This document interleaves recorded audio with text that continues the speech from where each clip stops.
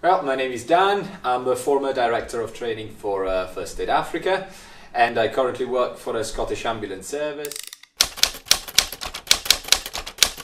Okay, so when we get called, oh my God, someone is uh, is unconscious and they're not breathing. We get there, and this person is on the floor, drunk, moving about, going. Uh, uh, uh, and then you ask, has anyone actually checked this person's breathing? Oh no, no, we have not done it. See, you know, before you say, when you call an ambulance, before you say, well, this person is not breathing, you should probably, you know, open an airway and, and here's the thing, actually check for breathing.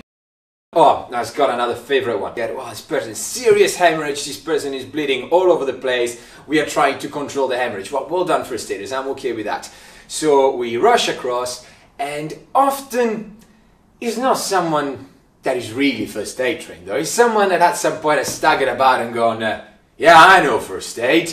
Oh my god, this person is bleeding. I know what I'm gonna do. I'm gonna put a tight tourniquet just up here to make absolutely certain that I cut off any sort of blood flow to this person's arm. Now, I can understand if that person's arm had blown off, if there's part of it completely chopped off, I give you that. Okay, no problems. But often is just a minor cut, you know, where a simple direct pressure on it would have sufficed. No, no, instead we turn up with people with belts around their arms, with uh, shoelaces around there, and uh, all sorts of other improvised tourniquets that I have to say, luckily, did not really quite work as tourniquets either. So that's a double fail, really. Let's see, other pet hates, other pet hates. Ah, As I've got another good one. I've got another good one. Right, the, the classic unconscious person. The person is on the floor, right, very nicely on their back. And when we arrive, there's always sort of a bit of commotion, a bit of panicking around. Goes, they're not well, they're not well. How they're not well? Well, they keep on going. like they, he's, he's almost, if they had to vomit, he's almost they're suffocating. Okay, so why didn't you want to just turn them on their side? Why didn't you want to touch them? Because you know, what if I break their neck?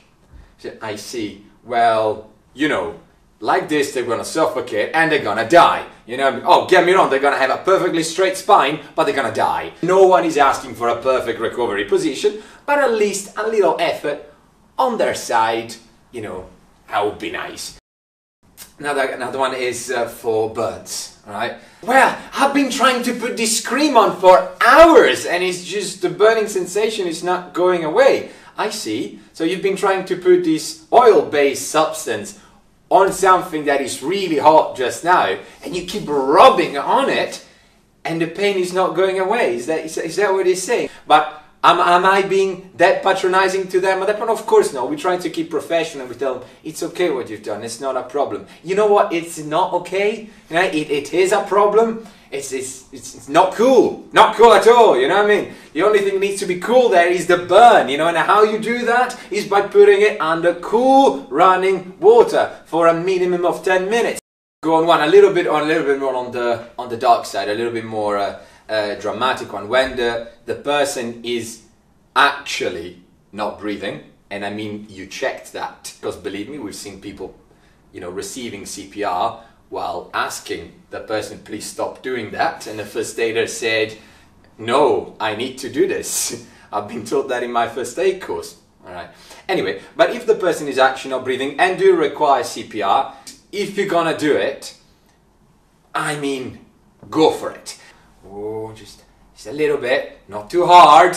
Not too hard, uh, make sure that we don't push too far. What are you doing? You're gonna do chest compressions. You go, oh yeah, but Dan, a little bit of CPR is better than no CPR at all. Well, you know what, I disagree. A little bit of CPR does absolutely nothing at all. If you're gonna push, you're gonna push hard. You're gonna push fast, you know? You wanna squeeze that heart. You wanna perfuse that brain. You know what I mean? Otherwise, there's not really much point of you doing so. And the question comes, what if I break a rib? You know what, my, you want my answer? If you break a rib, you're probably doing it right. Okay? Oh, but if you break a rib, you can puncture a lung. Well, I tell you what, in the fantastic circumstance where a rib breaks, breaks off, turns around, and does puncture a lung, guess what? You've got to. What saves a life is the bystander first aider that gets stuck on in there and starts providing chest compressions straight away. You're gonna crack a rib, good job, keep going, alright? We're just gonna take over later on and keep cracking ribs until this person hopefully survives. And uh, that's five, I think. Those are my uh, five pet hates. Awesome. I reckon. Thank you very much for watching this video and if you want to know any more about the great work that First Aid Africa is doing in uh, Southern and Eastern Africa, please check out our website on uh, www.firstaidafrica.org.